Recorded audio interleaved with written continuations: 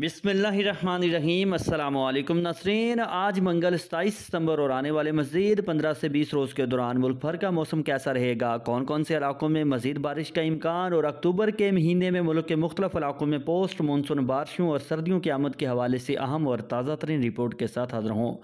नसरीन, बारिशों का मौजूदा सिलसिला इस वक्त काफ़ी कमज़ोर हो चुका है। महकमे मौसमियात की ताज़ा तरीन रिपोर्ट के मुताबिक आज मंगल सताईस सितंबर और आने वाले मज़ीद पाँच से छः रोज़ के दौरान मुल्क के बेशतर इलाकों में मौसम खुश्क रहेगा।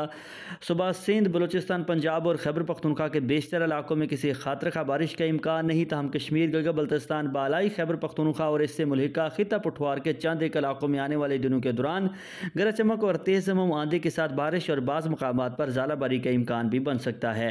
नसरीन, अक्टूबर के पहले हफ़्ते के दौरान मुल्क के शुमाली, बालाई, पहाड़ी इलाकों में ज़बरदस्त बारिश और बाज़ इलाकों में बर्फबारी का इम्कान, जबकि अक्टूबर के दूसरे हफ़्ते के दौरान खसूस पाँच छः अक्टूबर से पंद्रह अक्टूबर के दौरान मुल्क के मुख्तलिफ़ इलाकों में एक से दो पोस्ट मानसून बारिशों का इम्कान भी है, जिसकी वजह से गर्मी की शिदत में मजीद कमी और मौसम कदरे ठंडा होने का इम्कान। दिन और रात के दर्ज हरारत में अचानक से कमी आएगी। अक्टूबर के आखिरी पंद्रह दिनों के दौरान भी मगरबी हवाओं के सबब मुल्क के मुख्तलिफ़ इलाकों में एक अच्छी बारिश देखने को मिल सकती है।